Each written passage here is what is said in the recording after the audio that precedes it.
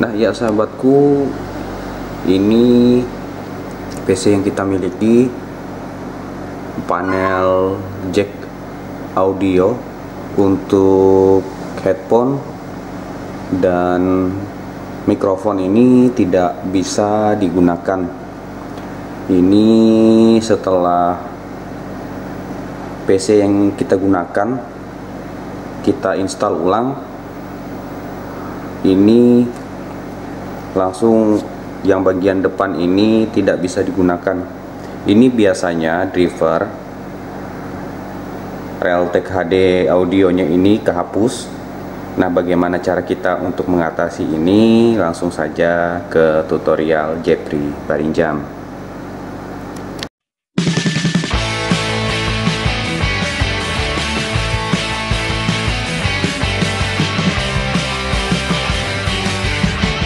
Ya, langkah yang pertama yang sahabatku lakukan ialah di sini sahabatku bisa langsung melakukan pengecekan apakah driver Realtek audio tersebut telah terinstall atau belum. Nah, dia di sini dapat sahabatku lihat biasanya dia itu dia berlogo speaker warna oranye ya sahabat. Nah, langsung saja yang sahabatku lakukan ialah sahabatku terlebih dahulu mendownload Nah, ini dia sahabat sudah sahabatku download Realtek HD Audio Driver.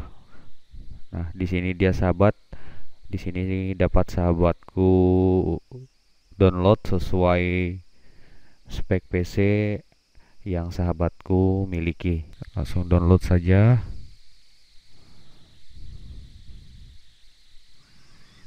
Nah, seperti ini dia.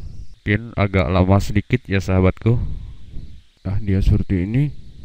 Nah ini dia sudah mulai mengekstrak.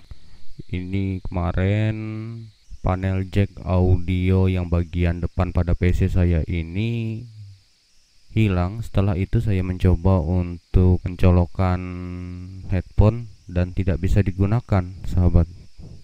Nah ini sudah hampir bisa. Nah seperti ini dia sahabat. Kalau sudah terinstall lalu sahabatku pilih berikut. Nah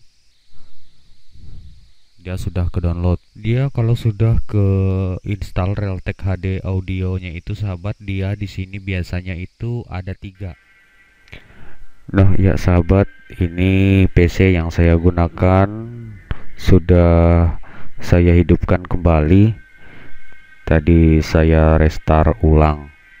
Nah, untuk mengeceknya sahabat untuk melakukan pengaturan ke Realtek HD Audio Manager, sahabatku buka. Lalu ini klik dua kali speaker yang berwarna oranye. Ini sudah ke download nah ini dia sahabat nah bisa sahabat lihat. Nah di sini. Ini sudah berlambang centang sendiri sahabat. Saya juga tidak tahu. Dia sudah ke seperti ini dia sahabat sudah mungkin pengaturannya otomatis. Nah ini ada dua ada dua pilihan di sini. Di nanti tinggal sahabatku pilih sendiri.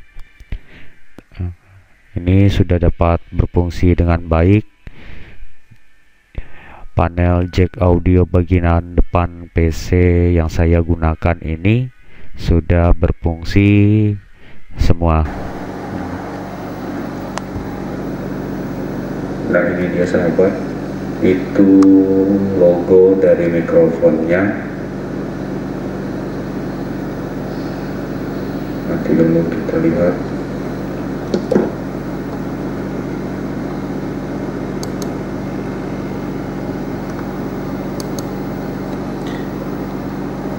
Nah, di sini juga driver dari Realtek audio yang sudah kita download tadi juga sudah terinstall di PC. Mungkin itu saja sahabat tutorial dari kita pada hari ini. Semoga saja bermanfaat bagi sahabatku semua di rumah. Wabillahi taufiq wal hidayah. Wassalamualaikum warahmatullahi wabarakatuh.